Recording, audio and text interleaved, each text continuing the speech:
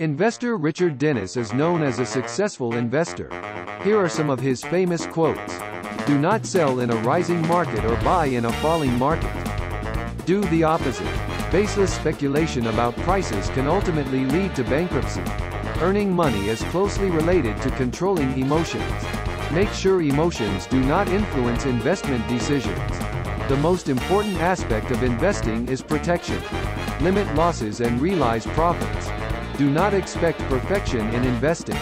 What matters is consistent profitability over the long term. Understand and follow the market's trend. The market determines right and wrong, so do not force your opinions. The greatest benefit you can gain from investing is knowledge. Learn from failures and grow through success.